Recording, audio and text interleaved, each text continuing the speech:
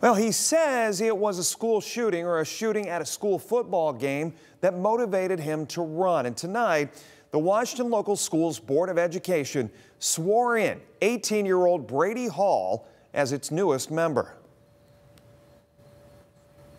solemnly swear. As the youngest member of the school board, Hall says he hopes to bring a fresh perspective to the administration and help to better fulfill the needs of students. He tells WTOL 11 he looks forward to maintaining the safety standards of the district, especially with a new middle school on the way.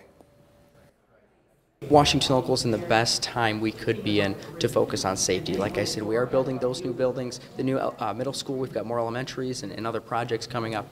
We have a really good opportunity to equip our buildings with the most safe, the most uh, modern technology that will keep our students safe. Hall says he will also be focusing on student services and athletics during his tenure.